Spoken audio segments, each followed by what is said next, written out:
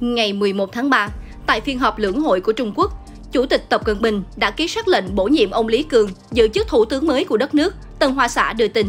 Trước đó, ông Lý Cường đã được Chủ tịch Tập Cận Bình đề cử giữ chức thủ tướng thay ông Lý Khắc Cường. Ông Lý Cường đã nhận được 2.936 lá phiếu tán thành ông trở thành thủ tướng. Sinh năm 1959 ở thành phố Ôn Châu, tỉnh Chiết Giang, ông Lý Cường là một trong những đồng minh thân cận của ông Tập Cận Bình. Ông được cho là đóng góp vai trò quan trọng trong quá trình chấm dứt chính sách Zero Covid, không có Covid trong cộng đồng ở Trung Quốc nhằm giúp nước này phục hồi kinh tế sau đại dịch.